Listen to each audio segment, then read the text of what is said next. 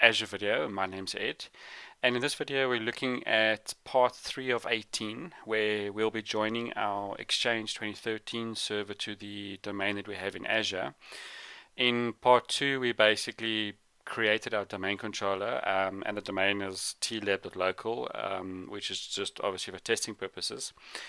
And this video, we're now going to take this machine that you can see on screen, and we're going to join it to the domain. But the first thing I wanted to bring to your attention is in order for that to work, you need to be able to um, see your DNS of your DC. So in Azure, if you go to the actual Ethernet and you look at the TCP IP properties, these values here are assigned by DHCP, but then your DNS is, is the public IP. Now, obviously, if it's a public IP, it's never going to see the internal um, server. So what I did is I gave it a static IP, which is 5, which it was assigned as a DHCP, and then I pointed it to .4 for DNS, which is my um, 2016 domain controller, which we created in the previous video. So now that that's done, just that you're aware of it, we can basically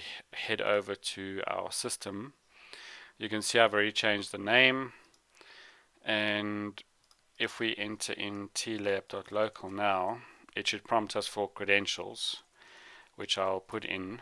Um, just type in my password quickly. And we now pretty much have our first Exchange server, which is the 2013 server, on our TLab domain. And I'm going to have to reboot now, obviously, to apply the changes.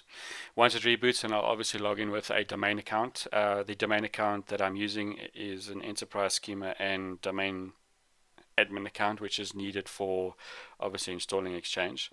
And in the next video, I'm going to basically um, show you the prerequisites required for uh, Exchange 2013, which we're going to quickly cover, and then we'll start the installation of Exchange 2013. So that's it for part three.